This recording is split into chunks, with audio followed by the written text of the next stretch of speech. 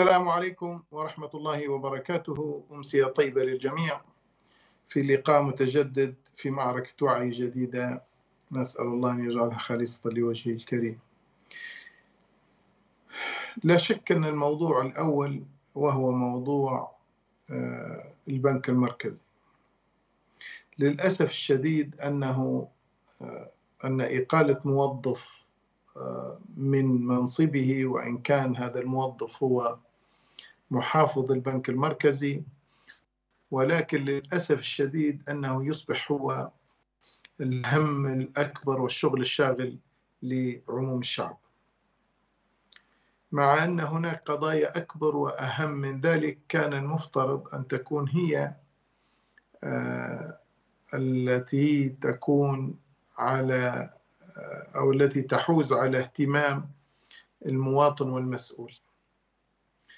لكن دعونا ناخذ نأخذ الدروس والعبر من هذا من هذا الموضوع كدولة ديمقراطية ناشئة لأن إحنا للأسف عشنا 42 سنة في الظلم والاستبداد وما أريكم إلا ما أرى وأنا الرجل الوحيد ومن يقول غير ذلك. آه، يغيب إلى أبد الآبدين. فالدرس الأول وهو أن الدائم الله. ولو دامت لغيرك ما وصلت إليك.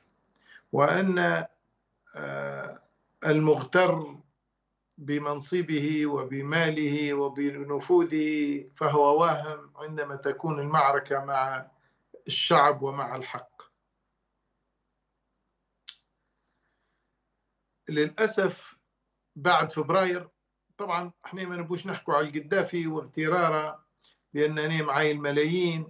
وأنني بنغازي أنا اللي كونتها وأنا اللي كونت بنغازي وأنا اللي كونت ليبيا واني واني واني واني واني اللي قريتكم واني اللي علمتكم. أنت ما حتى أنت قراك الملك وأنت اللي دخلك الكلية الملك وأنت اللي معناه موضوع تافه جدا يعني. لا يكرره إلا التافهون وما يعاوداش إلا التافه والتافه.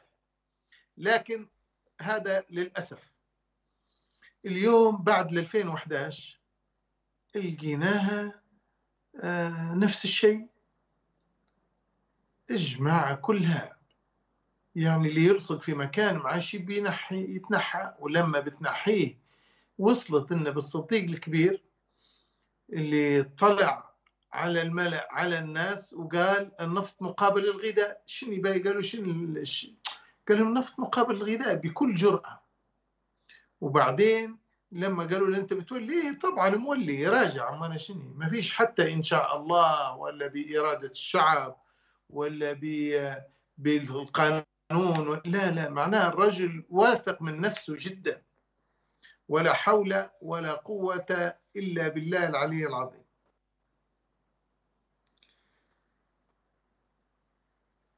الرسالة التي يجب أن تصل للجميع.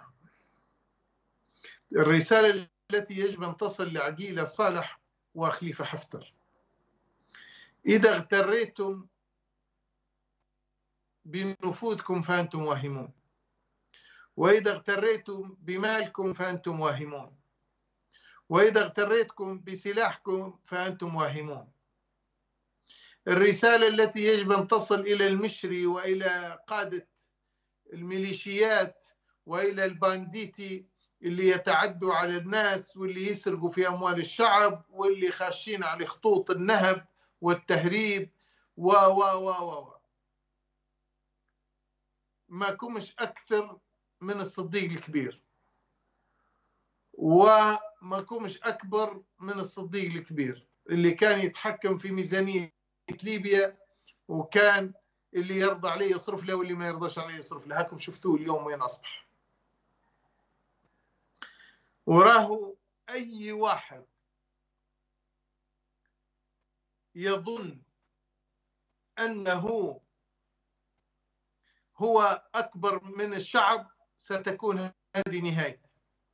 وأي واحد يظن أن ما وصل إليه وصل بحوله وقوته فهو واهم وستكون هذه نهايته. وأي مسؤول يظن أن هذه المسؤولية مفروضة من ال... يجب أن تعطى له ولا تعطى لغيره فهو واهم وستكون هذه نهايته. المسؤولية إذا أتتك فاتق الله فيها. وحاول تخدمها بنصح وحاول تخدمها بإخلاص وحاول تخدمها بما يرضي الله عز وجل. وما في حد ما قالكش ما تستفيدش لكن تستفيد وفق القانون وبما يرضي الله عز وجل. لكن ولا تظلم الناس ولا تتجبر على الناس. ومن يتجبر على الناس ومن يظلم الناس ومن يتساوى عند الحلال والحرام ستكون هذه نهايته. هذه العبرة الأولى. هذه الدروس المستفادة. من عز بغير الله دل ومن تطاول على الخلق دعوة من مظلوم ترجعه أسفل سافلين النقطة الثانية الدرس المستفاد الآخر أن من يحتمي ومن يتقوى بالأجنبي. من يقول أن السفير الأمريكي أو السفير الإنجليزي أو السفيرة الأمريكية أو السفيرة الإنجليزية. من يقول أن اربطت مع المخابرات المصرية أو التركية أو غيرها. ومن يقول أنا أعطيني فلان كلمة وأعطيتني دولة الفلانية كلمة وأنا وأنا وأنا. فمآله مآل الصديق الكبير. وصدقوني أن كل من يتقوى بالسفراء كانت هذه حالته. وشوفوا اللي يفتخروا بالتصوير مع السفراء. الآن وين وضح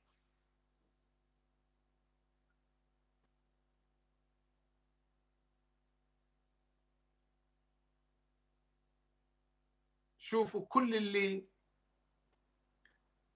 التقى بالسفير الفلاني والتقى بالسفيرة الفلانية وكذا وكذا وفلان عاطينا كلمة وفلان كذا. وأنا سوف أقول والله على ما أقول شهيد. كلمني أحد الأصدقاء وهو مسؤول في الدولة. قال لي يعني والله نحبك في الله وتعرف والحقيقة أنا واثق من حبه لي يعني. وما بيننا إلا ما حرم الله وأنا أيضا أحبه بصراحة. قال لي أني نبيك تخفف شوية في موضوع الصديق الكبير.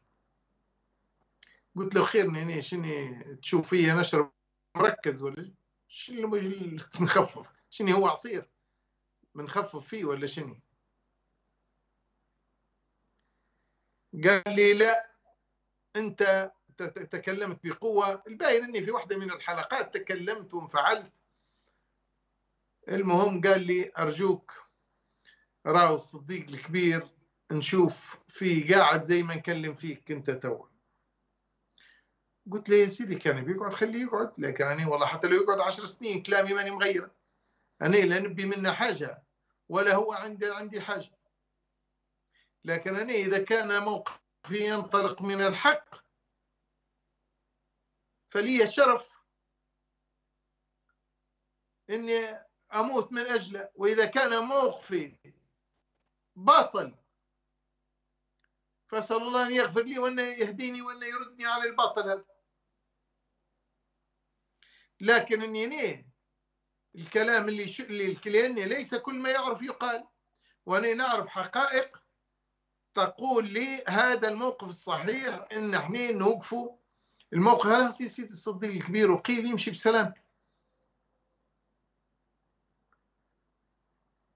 الصديق الكبير خلط عليه ناس من أول يوم. قلنا له والله دلوك ما عاد رفع مية. يا راجل ما يعتبروش. عقيلة صالح وروني واحد خلط على عقيلة صالح ومشي لقدام. يا رجل جماعة المحكمة العليا قلنا لهم كذا قمشوا يحلفوا قدامه بعدين دار لهم قرار وطيرهم فتحي بشاغة قلنا له عيب يا راجل انت ولامس كنت تقاتل فيه يا راجل انت ولامس كنت وزير الداخلية وأنت كنت كذا وأنت كنت كذا في البركان. يا رجل لا تضع يدك في أيدي هؤلاء المجرمين الذين قتلوا أبناءنا ودمروا بيوتنا وهاجموا على طرابلس الزهية البهية. لا يعقل هذا لا يعقل.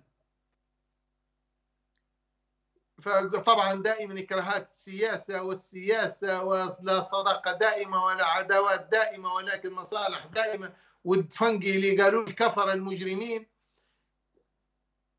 قاعدين يعاودوا فيه وكأن الحياة ما فيهاش إلا الخداع والكذب والباطل ما فيهاش حق وما فيهاش مبادئ وما فيهاش قيم. يعاودوا لي في كلمة تشرشل اللي اللي دمر نص العالم بكل وقاحة. ولو تقول له من اللي قالها مش ما يعرفش ان قايلها تشرشل بكرة. لا توجد صدقات دائمة ولا عداوات دائمة ولكن مصالح دائمة. قول للذين كفروا يعاودوا فيه بدون وعي وكأن الحياة خالية من الصدق ومن الأمانة ومن المبادئ ومن القيم. ما هذا للأسف؟ قلنا لهم لا يغركم راوا الكلام ما هوش ما هو الصح وراوا الطريق اللي ماشيين فيها ما هي الصح وردوا بالكم. وبالفعل مشوا وخدموا به فتحي بشاغة وبعدين من اللي قداش ليكم ما سمعتوش اسم فتحي بشاغة وفي الأخير جابوا واو حماد وقالوا له روح ما دامك أنت ماكش قادر تخش طرابلس ولدنا أولى. بصراحة هيك. وبرا دور قاعمز في مصراتك غادي يمشي. هذه هي الحقيقة.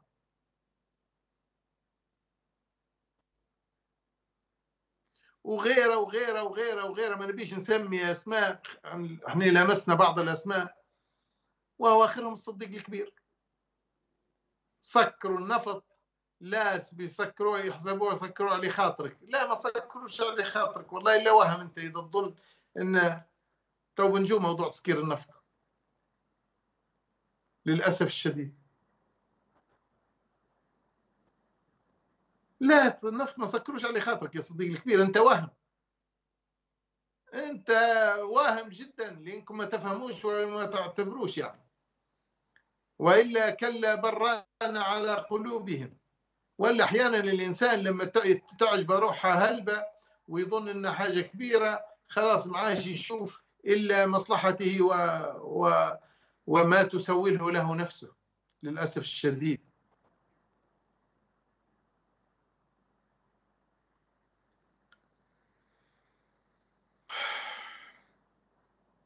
عموما الدروس كثيرة جدا والليبيين الحمد لله في درجة وعي الآن أنهم يشوفوا في آه، كل شيء أمامهم ويتابعوا في الأخبار. وهو المتغطي بالأيام عريان واللي متغطي بعقيلة وحفتر عريان واللي متغطي بالمخابرات المصرية عريان واللي متغطي بالسفراء والسفيرات عريان.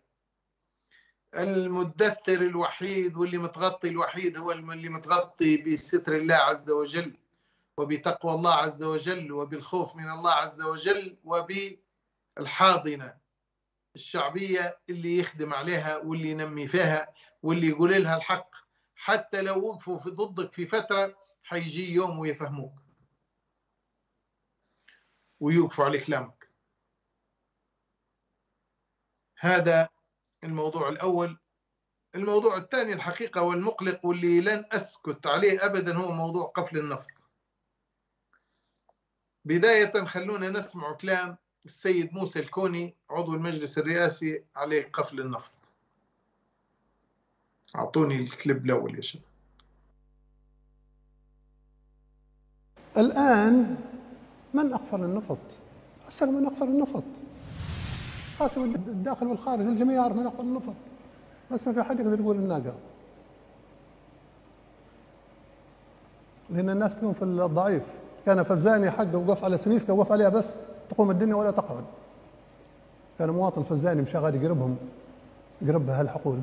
المواطنين ما يقدروش يقربوا قدامه الحقول النفطيه حقل الشرارة أو باقي الحقول يقول منها.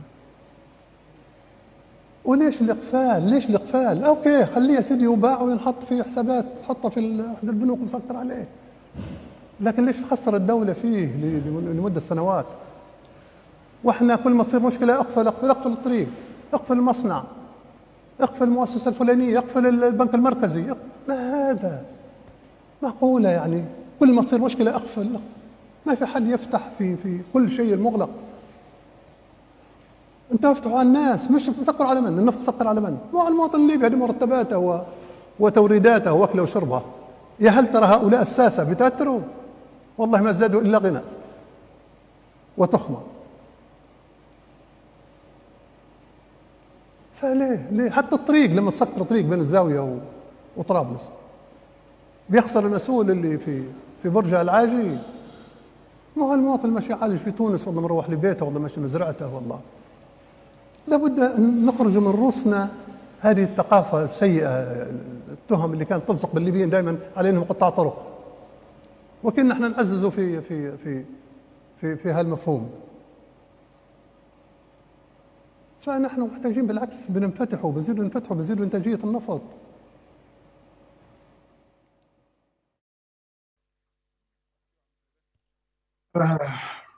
الكلام اللي قاله الأستاذ موسى طبعا كلام واضح وهو يشير فيه إلى حفتر لما قال لك ما فيش واحد يقول الناقة. وراه موضوع تسكير النفط تكلمنا عليه آلاف المرات. ولن نسكت عليه. وراه جريمة كبيرة جدا جدا جدا. وخسائر ليبيا بالمليارات. جدران سكر النفط ومشي بيه لليوم 160 مليار. اللي ولامس اشبح بو مطارق بحققوا معاه في النيابة العامة ناضل حليق وقال كذا وكذا راه غير بيحققوا معاه. ونسكر النفط وندير. بعدها اختفيت. راهو موضوع تسكير النفط أوصل ليبيا إلى درجة شو ما نقول لكم. لكن أنا مش حنتكلم أنا. ترى أعطوني يا شباب آه الانسيرت الأخير بتاع رقم 10 ترى.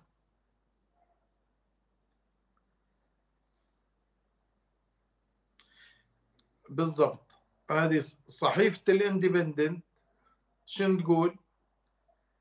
تقول أن مصفاة فالكونارا الإيطالية اللي هي مصممة خصيصا تبحث عن بديل للنفط الليبي.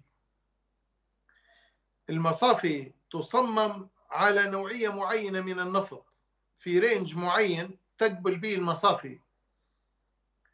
يعني النفط متاعك مش أي مصفاة تقبله.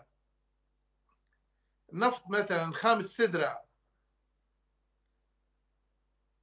مش أي مصفاة في العالم يمكنها تكرير النفط. في نفط خفيف وفي نفط متوسط وفي نفط ثقيل و و و. معروفة الناس اللي في النفط تعرف. فمصفاة فالكونارا الإيطالية مصممة على أساس أنها تستقبل النفط الليبي. لكن كثرة الإقفالات الإغلاقات بتاع النفط تجعلها تبحث عن بديل. وهذه مش مش هذه المصفاة فقط غيرها من المصافي التي تعمل وتعودت على النفط الليبي. ما دامك انت كل مرة نايضين لك بانديتي عصابة تسكر لك في النفط وأنت الدولة بتاعك مش قادرة توفر لي الإمدادات. المؤسسة الوطنية للنفط مش قادرة توفر لي الإمدادات المتعاقد عليها لأن المصفاة ما توقفش. المصافي ما توقفش 24 على 24 تخدم. إذا أنت النفط ما يجينيش لا بندور عليه مصدر آخر برا اشرب انت النفط بتاعك. ولا خليه الوسخ هذا المجرم اللي مسكر النفط. خليه هو يدفع لك. راهو موضوع إغلاق النفط ما تستهينوش به لما نقول لكم يا جماعة راهو جريمة كبرى.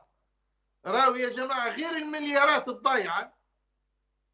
راهو يضيع لك زباينك.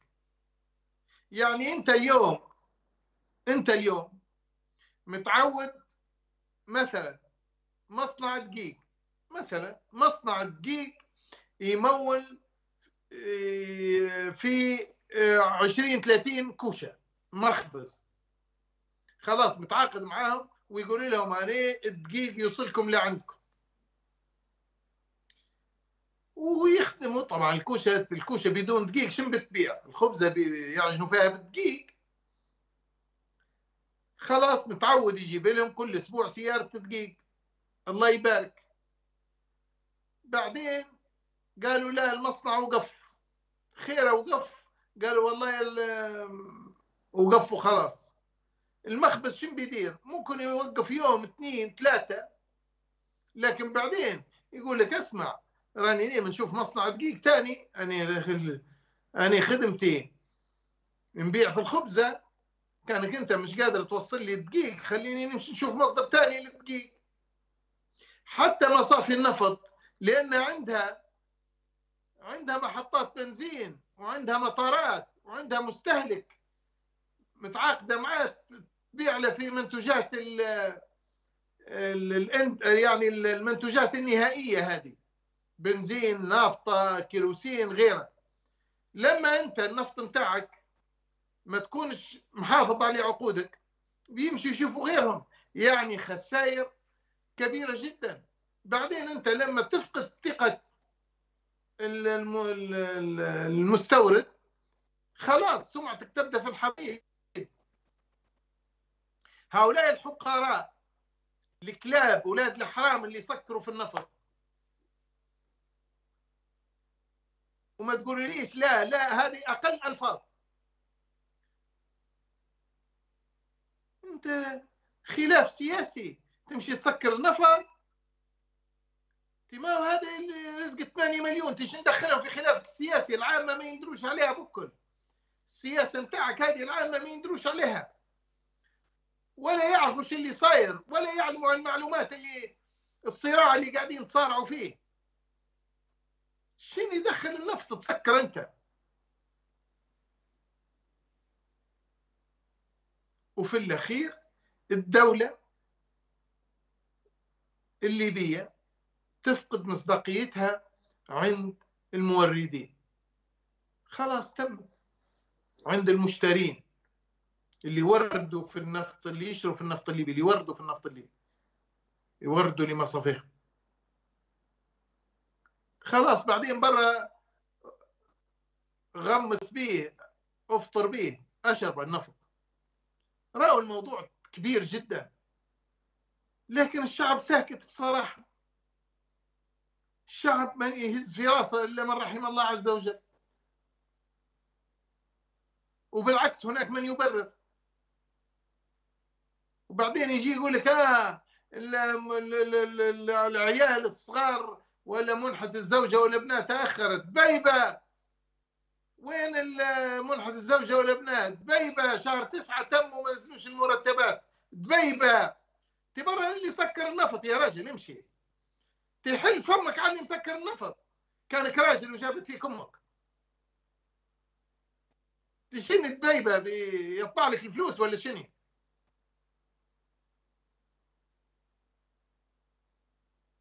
تشين البغدد هذا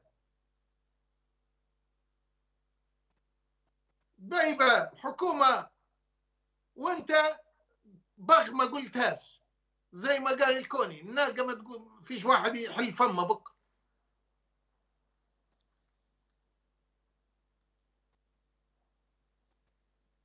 برا اتكلم على اللي يسكر النفط كان جابت فيك أمك.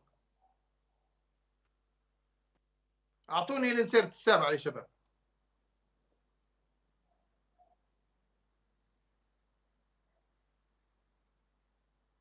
تفضلوا. رئيس النقابة العامة للنفط سالم الرميح لقناة الأحرار خسائر إغلاق النفط يوميا 850 ألف برميل يعني 416 مليون دينار.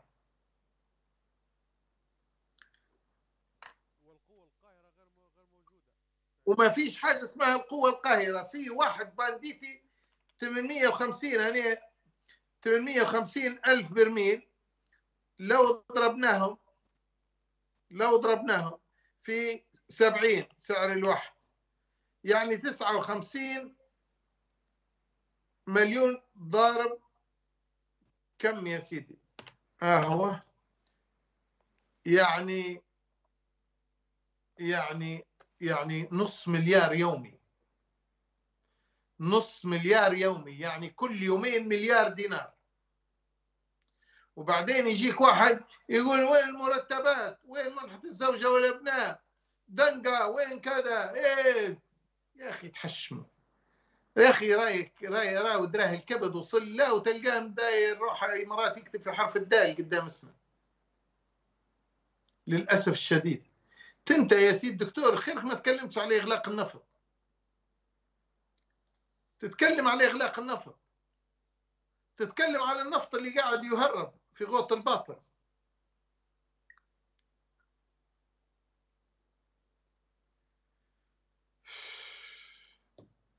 تكلموا عن النفط اللي قاعد يهرب. هذاك لا لا إغلاق ولا إيقاف تصدير ولا كذا. ترى اعطوني يا شباب لين صرت الثامن خلي الليبيين يسمعوا. كان بيتحركوا باهي لكن اللهم قد بلغنا. على الأقل نديروا واجبنا.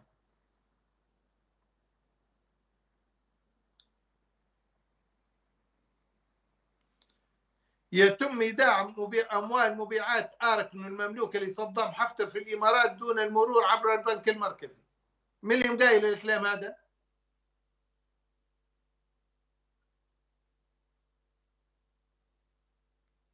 مقايله محمود عبد العزيز نوح هنيه هذا الآن للأسف طبعا كل شيء مرصود في العالم. وهذا للأسف هذا الضرب لمفهوم الدولة في ليبيا. هذا المقلق بالنسبة لي أنا الحرام والزقوم حيولي عليه صاحبه الإجرام حيولي عليه صاحبه. لكن مفهوم الدولة أشهد الله أن معمر القدافي مدار الكلام هذا. أشهد الله أن معمر القدافي لم يمس كيان الدولة بصراحة.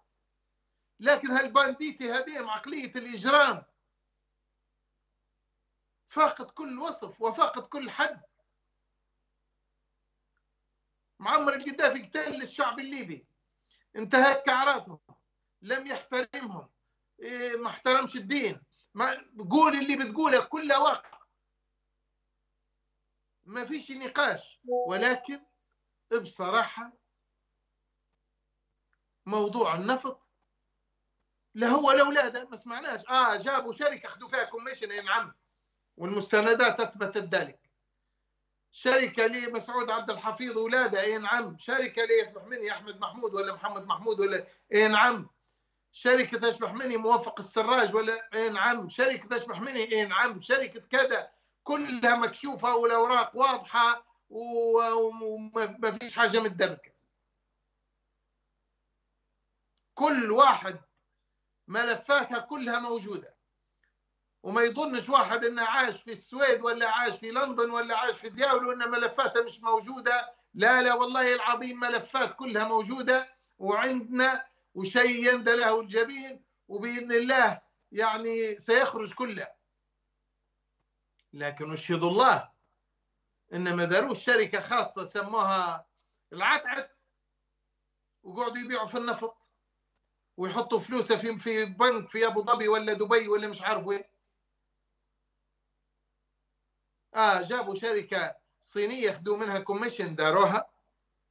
خالد الخويلد الحميدي جاب شركة اشبح منين خدي فيها commission اي نعم شركة إندونيسية ولا مش عارف اي نعم تعاقدوا مع الأتراك اي نعم خدوا commission اي نعم لكن إنهم داروا شركة خاصة. بخلاف قانون النفط. وبدوا يصدروا فيه. وفلوس النفط بدت تنحط في بنوك دون المرور على المركزي. عمرها ما صارت إلا توا اللي يبونا نقتنعوا بحفتر أي واحد ساهم في تمكين حفتر لو هو راجل ويتحشم اليوم ياخذ الشلاك يقعد يلطم في وجهه لين يموت. ويقعد يضرب في راسه بشلاك تلين يموت. هذه هي الحقيقة.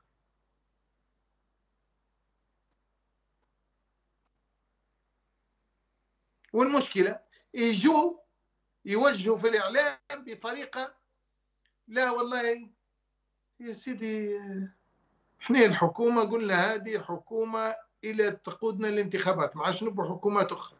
كذا كذا.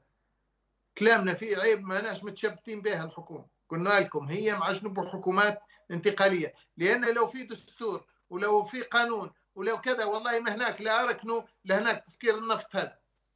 لكن هذا اللي يقرب النفط يضربه بالطيران المسيري يجيب مصارينا تحت رجليه. دولة فرض هيبة الدولة وراه القرقوز هذا منتهي لي وقت. لكن مراحل انتقالية وبرلمان ومجلس دولة والمشري يلعب في جهة والعقيلة يلعب في جهة وما عادش فهمناها وقاعدة الحكاية حايسة. وين تدوي على الانتخابات ولا تدوي على الواحد؟ يقول لك القوى القاهرة كل يوم طالعين لك بمسرحية كل يوم طالعين لك برقاراجوز علشان انت ما تستقرش بكرة. ويجيك واحد تافه يقول لك والله أنا آه، في المنطقة الشرقية ما يبيش يقول حفتر يقول المنطقة الشرقية. لا صغار حفتر تكلمك.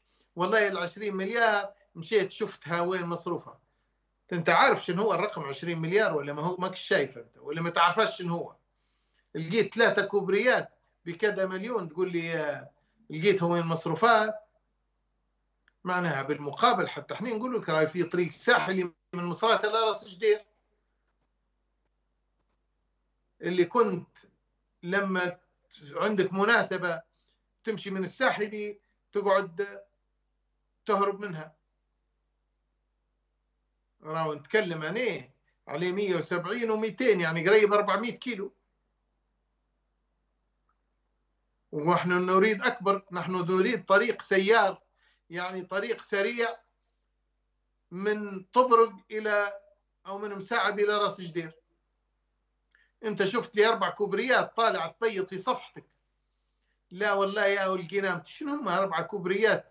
وحتى ال 20 مليار عرفناهم وين مصروف شنو يا شنو هم؟ 20 مليار أنت تعرف الرقم ولا تسمع به آه معناها حتى إحنا تو نوض نقولوا طريق صلاح الدين ترهونه 75 ولا 80 كيلو متر اللي ما يعرفهاش طريق مزدوجة مهمة جدا العقبة لطريق ترهونة بن وليد. طريق الموت. طريق الموت ترهونة بن وليد اسمها طريق الموت. نتمنى أن نراها حتى هي نازلة من ضمن المشاريع اللي قصدي لما تجي تقول وهذه إحنا رانا طموحنا أكبر من هيك. إحنا نبو دستور ونبو انتخابات مدنية ونبو تعليم صح ونبو معاش نلقى ليبي داير مريض تحته ورافعة في الطيارة يجري به لتونس ولا للأردن. لا نبو الناس هي اللي تجي تعالج عندنا.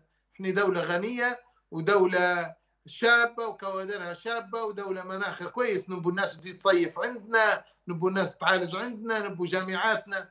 الناس تجي تقرا عندنا. شنو الفضايح هذه؟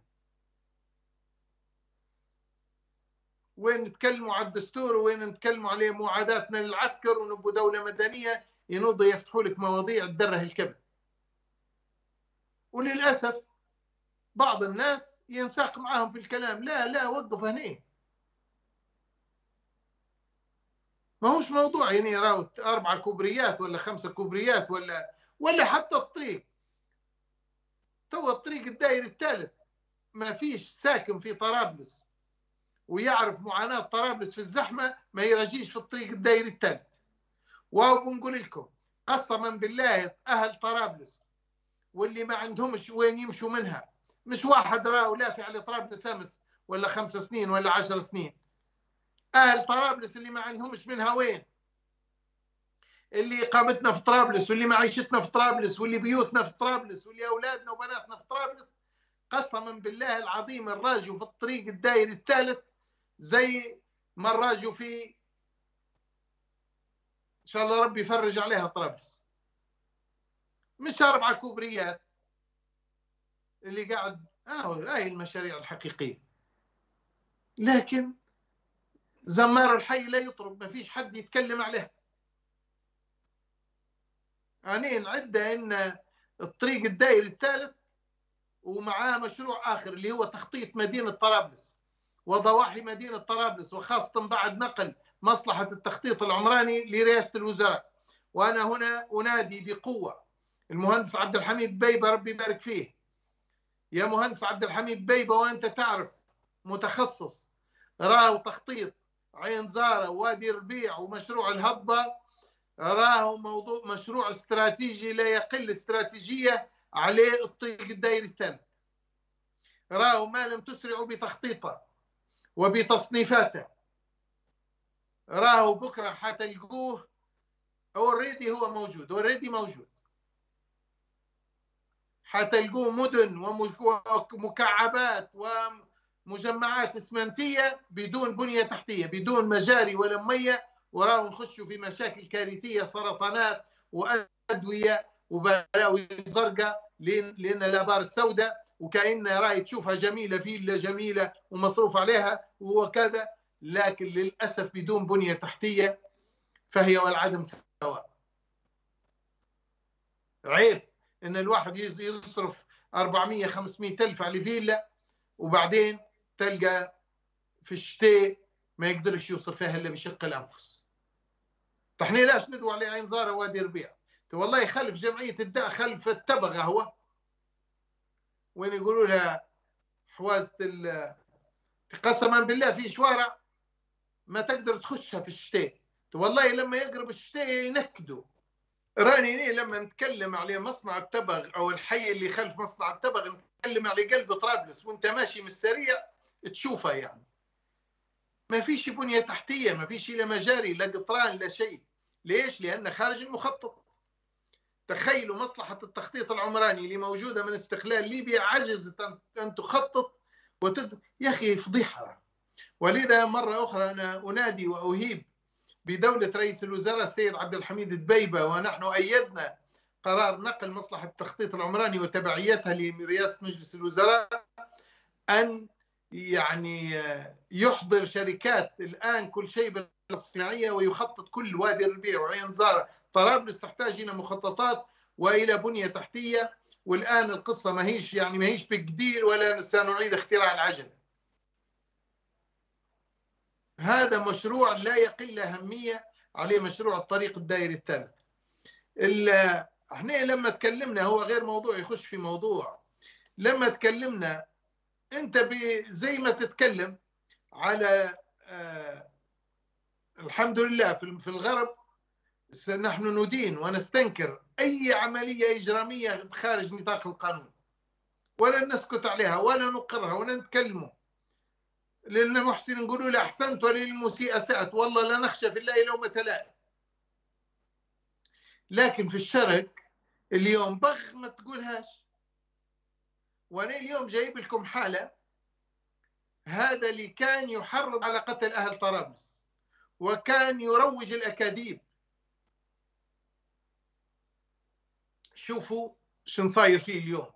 والله دعاء نسانا وبناتنا وامهات الشهداء وزوجات الشهداء والله والله الله عز وجل لانصرنك ولو بعد حين. ترى اعطوني الكليب الثاني يا شباب. شوفوا شن كان يحكي عليه طرابلس. يكون يكون كل شيء بأوراق. هذا كتب هذا نزل هذا شارك هذا دار. أكثر تعرفوهم يعني آه من هم آه. الشخصيات لا بعدين يسيطروا تقيم السيطرة آه. على الحساب يعني. هو كويس. هو بروحه يعرف إن الحساب بيتسيطر عليه. هي متابعة الإيميلات. خلينا حتى نقولوا حتى الوهميات اللي الآن آه تدعم الأخوان حتى إنه يتبع كذلك جماعات المقاتلة. حتى إنه يتبع. طبعا كيف يتبعوا فيهم؟ أكثر شخص يعلق أكثر شخص يدير في آه، إعجابات. أكثر شخص يدير في مشاركات. نحن ريتوها الفاسد هذا حشاكم والمذيعة اللي معاه بالمناسبة الزوز تصرفوا معاهم الدرسي من الداخلي اللي في الشرع. الزوز المذيع والمذيعة.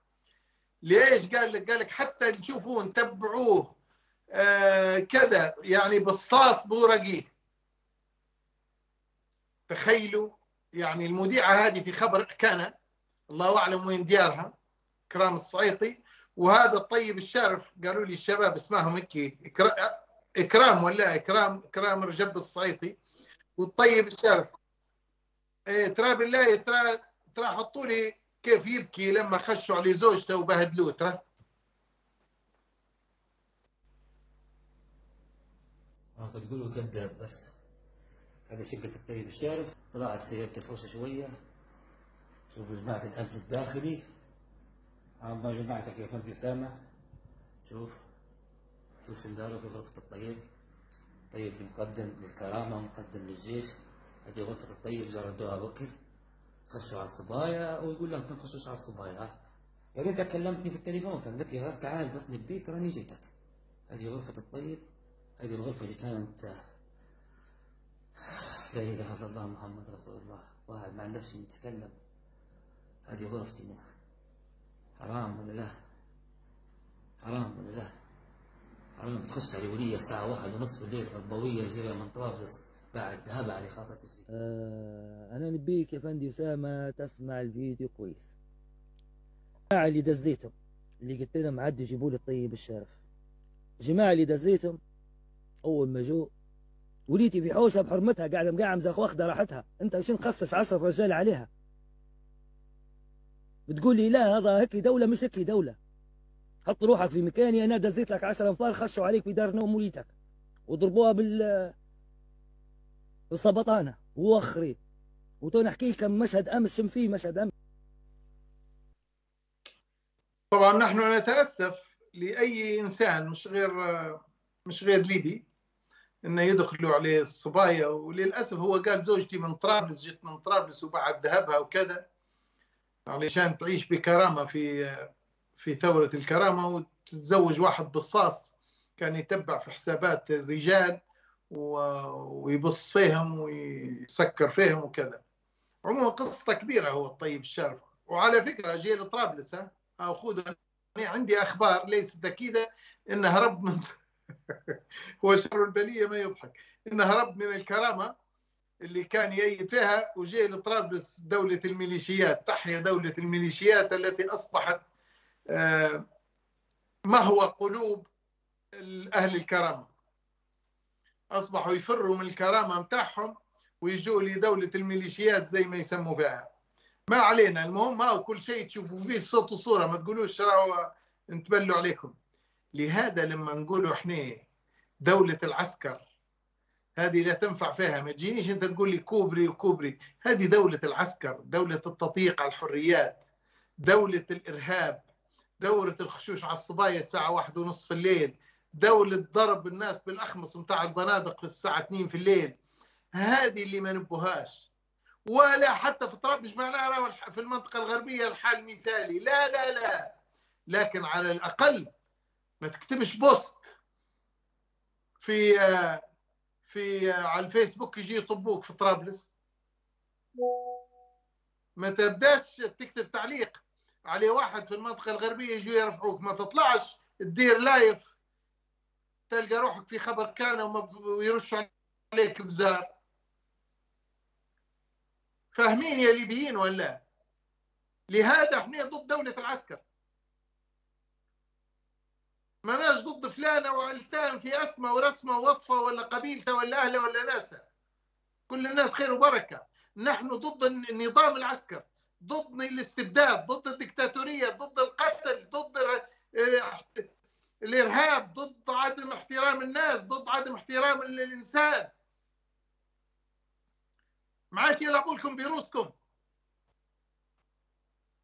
وتقعدوا تعاودوا في كلام فاضي.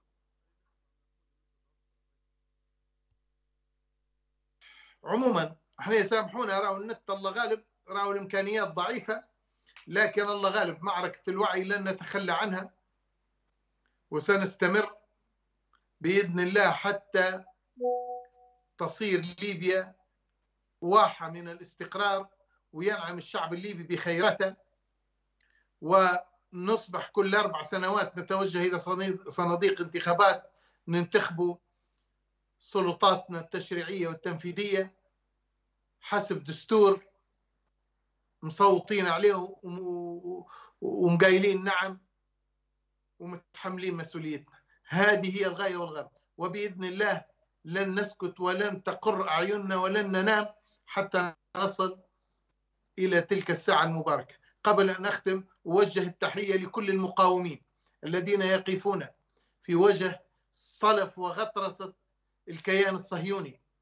والذين أعادوا النتن ياهو إلى رشده اللي كان قبل أسبوع يفصل في خريطة الشرق الأوسط ويتكلم بعجرفة ويتكلم بفوقية ويقسم الشرق الأوسط كما يريد أرجعوا له ما تبقى من عقل وحطوه في حجم الحقيقي وأصبح يتكلم من المخابي وأصبح يتكلم من الملاجئ وجنود كل يوم يبوؤون بالخسران. تحية لمن يقاومون في جنوب لبنان وتحية لمن يقصفون الكيان بهذه الصواريخ.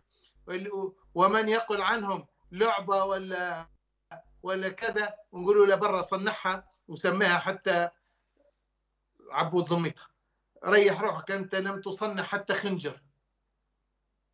اخسأوا ولا تكلمون. كفى. إلى كل الذين يعولون وعلى انتهاء المقاومة وعلى تسليم المقاومة ونقول لهم خبتم وخسرتم. وبإذن الله وعد الله حق. وبإذن الله المقاومة هي التي ستنتصر وسنصلي بإذن الله في المسجد الأقصى. وندخله فاتحين إن شاء الله. اللهم ارزقنا صلاة في المسجد الأقصى وهو محرر من هؤلاء من أحفاد القردة والخنازير. دمتم في رعاية الله. والسلام عليكم ورحمة الله.